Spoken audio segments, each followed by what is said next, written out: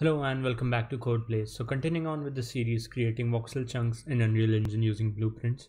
Uh, we, in the last episode we implemented the create face and the get face vertices function.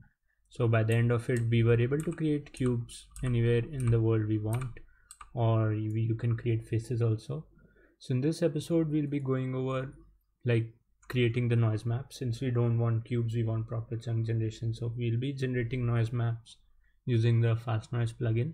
So again if you don't have the fast noise plugin installed just search in the marketplace for fng or the fast noise generator. It's free you can add it. So we'll go over that but and we'll be doing most of like the whole of the noise generation thing in the construction script. So i'll basically break this pin here and i'll do a sequence node okay and we'll basically need three things. So the first pin will go to our noise generation. The second one will be going to our mesh building and the third one will be going to our rendering. Or you can remove this third one and use this completed but uh, we'll be changing our mesh building logic in the ne next episodes so that we'll be able to create proper voxel meshes rather than just cubes. But for now we'll be just focusing over the first sequence that would be generating our uh, basically filling our chunk block data with the noise uh, height map that's generated. So the first thing we'll do is get our blocks data okay and we'll resize it. And we'll resize it to uh, three times the size of our chunk. So we'll get our size. We'll multiply this by an integer. And resize this to this value. So currently I have my size set to 16 so the resize value would be 4096 and that's what our array will be resized to. And it's a good practice to do the resize if you know the length of the array um, at compile time only. That way Unreal Engine won't have to increase or allocate more memory to array at runtime. So it gives a slight performance boost so once we have done the resize we'll be constructing the fast noise wrapper. So construct uh, I'll just search for fast noise wrapper.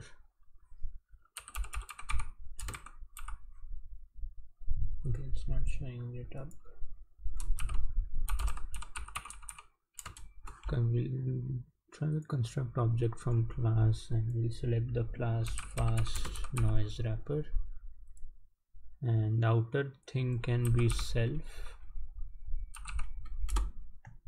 Okay so this will basically add the fast noise wrapper to the current blueprint object. And once we have that this we can set it up.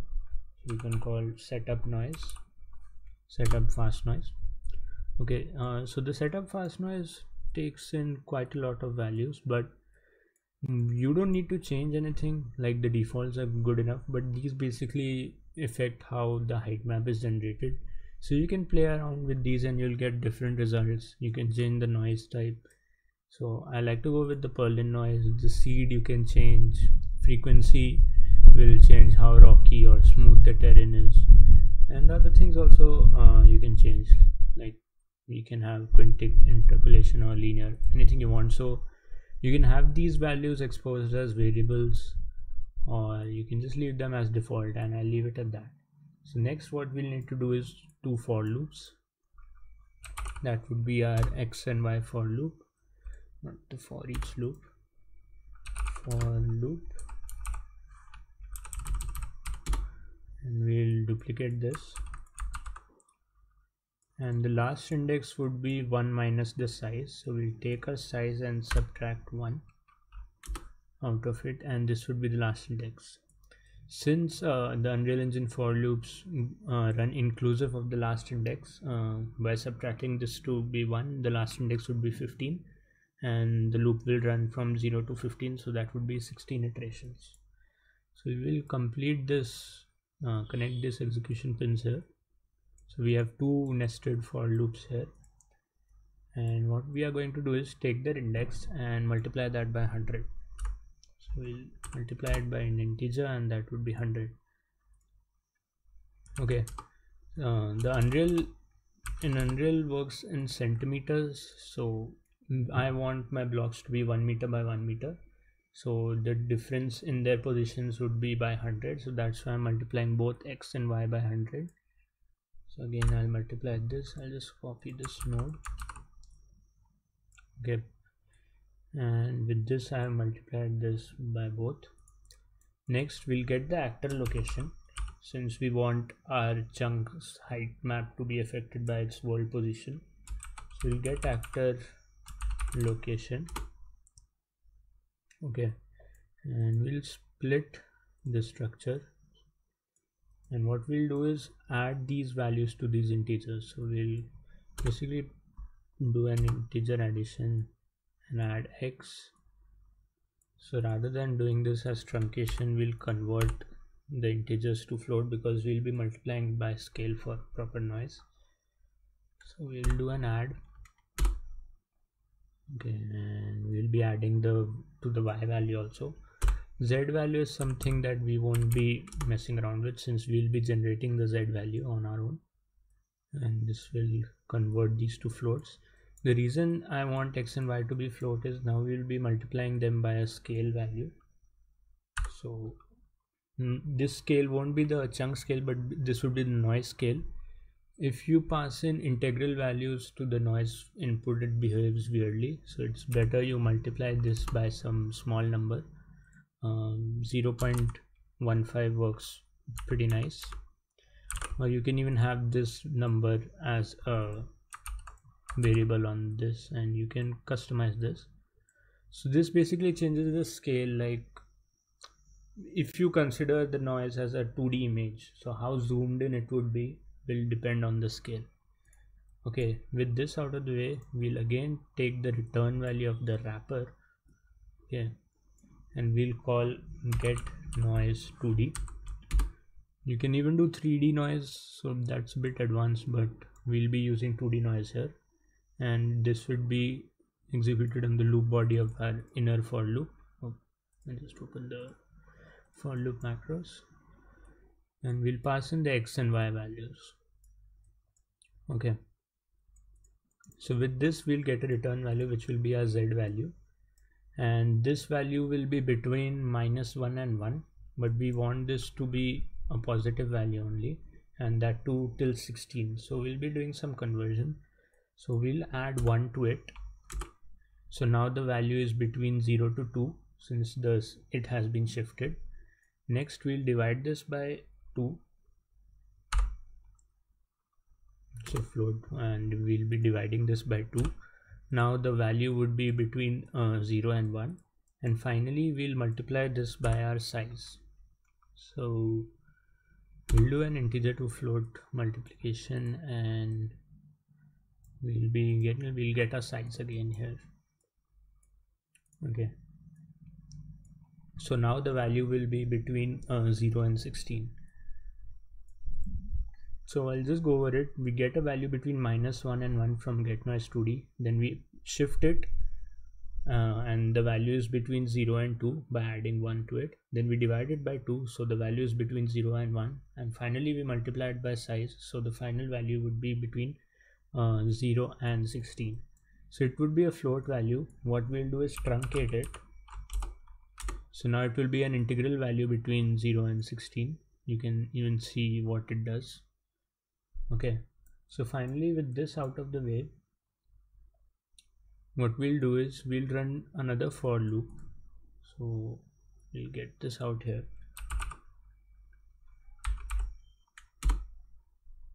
And we'll copy this for loop actually. And the second for loop will run on the completion of the first one and the first for loops first index would be 0 and the last index would be the z value that we generated. And the second for loops first value would be the z value and the last index would be our size minus 1 so where do we have that? We'll just get this here again. And yeah. So this for loop will fill the blocks array with stone blocks that are the opaque blocks and this for loop will fill the remaining the rest of the chunk with air blocks so that we get our transparent blocks also. So next thing we need to do is filling a blocks array and we have the x y and z values for our blocks. But uh, what we need is uh, the block index. Since our blocks array is a one dimensional array now we'll be implementing this get block index uh, function so this will again be a pure function since it won't be modifying anything on the member variables. So first thing we'll have is a position and this can be an int vector.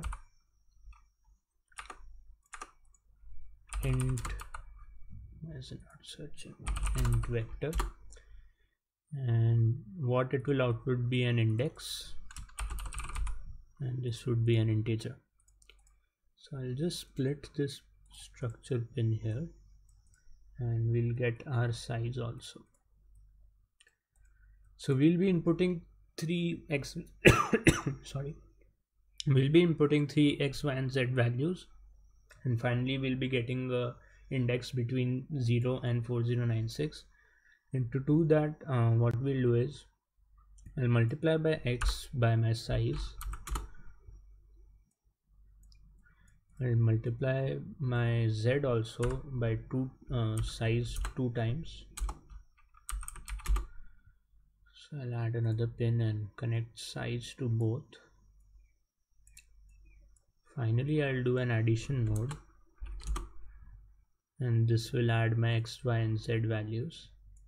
So this is again basically saying that um, this, I first move along the y-axis then along the x-axis and then along the z-axis.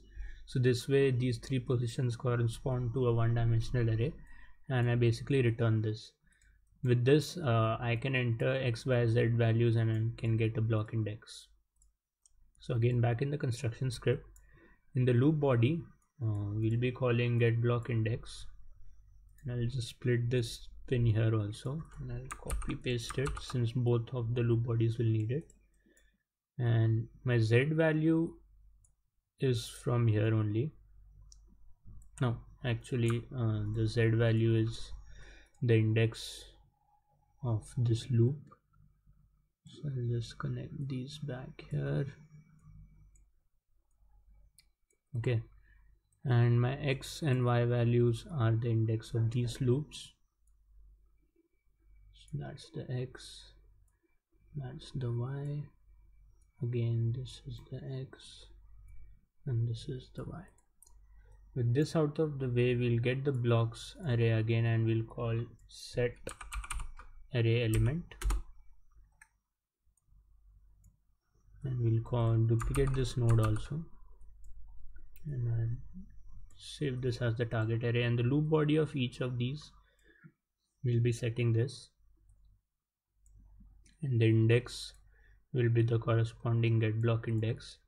And the first loop will set them as stone blocks and the second loop will set them as air blocks. Yeah and with that we have basically finished our noise map generation. So there isn't anything that I'll be able to show you visually like showing whether this works or not. In the next episode we'll be going over mesh building and after that you will be able to see the noise map generation is working so I'll just go over it once since it's a bit complicated. So the first thing we do is resize our blocks array to three times the size like uh, size size cube basically. Then we construct our fast noise wrapper and we call the setup fast noise where we get the noise where we give the noise properties. Then we have two for loops which run from 0 to size minus 1 again the unreal loop is inclusive of the last index so these both will run 16 times. We take the index multiply it by 100 and convert them to floats and also add the actors location. Then we multiply the final value by the scale value which is 0.15 again this could be a variable on the blueprint. And then we pass these to get noise 2d this will return a z value between minus 1 and 1 so we basically shift it to 0 to 2 divided by 2 so the value is between 0 and 1 and we multiply it by a size so the value is between 0 and 16 and we truncate the float value. So at the end this value will actually between 0, 0 and 15 with 15 inclusive. And then we run two for loops. These are not nested loops but uh, they are sequentially called one and after. The first for loop runs from 0 to the truncated value that we get and the second for loop runs from the truncated value to the size minus 1 and with this we basically fill up the array. With the uh, first for loop we fill the blocks with the value of stone. And with the second for loop we fill the blocks with the value of air. So we have some opaque blocks and some transparent blocks. And to get the block index we use this get block index function which basically multiplies x y and z position and adds them to convert three int values to a single index. And that's all for this video. And i hope you like it. If you have any suggestions please leave them down below in the comments. And do share it with your friends. It really helps me out. And in the next episode we'll be going over the mesh building part. And it would be the last episode of the series since after that you'll be able to create your chunks and do whatever and expand it further. So i may do a, another episode regarding what further can be done with this system and how you can optimize it and all but it will just be a talk. I won't be showing anything. So that's it for today. Thank you